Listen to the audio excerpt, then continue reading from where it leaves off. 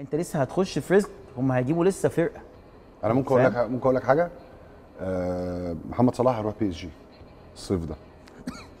وأنا بقول لك كده على مسؤوليتي. لا ما دي أكيد على المسؤوليه طيب أنا بقول لك محمد صلاح أنت طلعت طالعه جامده محمد صلاح هيروح PSG وافتكروا كلامي ان الكلام ده قلته هنا. محمد صلاح الصيف ده يروح PSG شغل هيروح باريس. سان جيرمان شغل كبير؟ ماشي أنا بقول لك. شغل كبير قوي ماله؟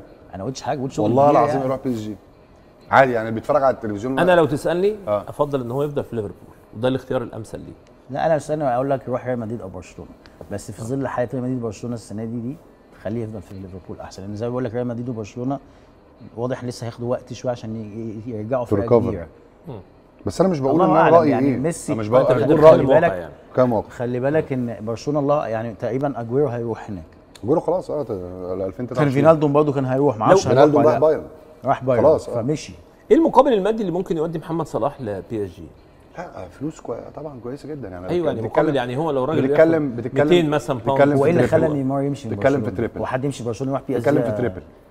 سيف؟ triple؟ آه. سيف هو أنت في في حد 600 في آه. الأسبوع؟ في حد في الكورة. طبعا. سيف في حد في الكورة يسيب برشلونة. في عزه كمان كان واخد Champions League آه. مش زي دلوقتي. ويروح PSG دي أكبر صفقة أيوه التاريخ. ما عشان فلوس. ماشي وبقول لك إيه بس مش كل الناس زي بعض هو نيمار يعني. جدد بكام يا كابتن حسن؟ نيمار جدد دلوقتي بحوالي بحوالي 600 في الأسبوع.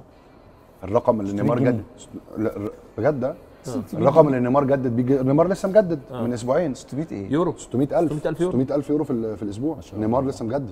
فأنت بتتكلم إن هو النهارده لو جاله triple الفلوس اللي بياخدها وهو already كسب كل حاجة مع ليفربول لا هيبقى عايز يروح PSG بتتكلم في نادي كبير بتتكلم في في تخطيط لما بعد الاعتزال ودي نقطة مهمة جدا لتخطيط لما بعد الاعتزال لأن هو صلاح متوجه للحتة آه، للحتة دي زي ما تشافي كان متوجه للحتة دي زي أنهي حتة؟ الحتة بتاعت ال- بتاعت الدوحه آه. معروفة يعني راحة في الحتة دي. النهارده إلى ما بعد الاعتزال في تحضير لناس معينة.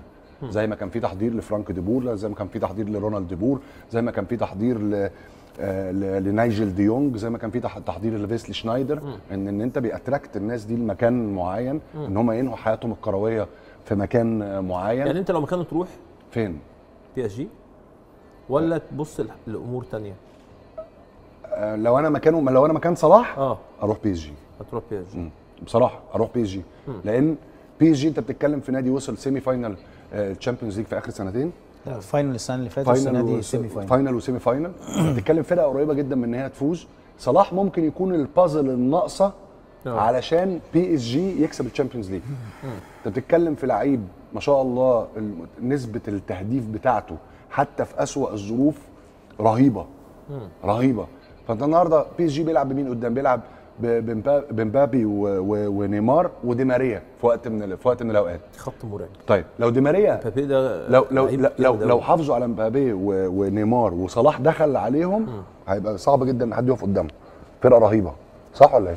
طبعا. صعب قوي لا يعني. أحسن لعيب حريف. سرعة كبيرة جدا.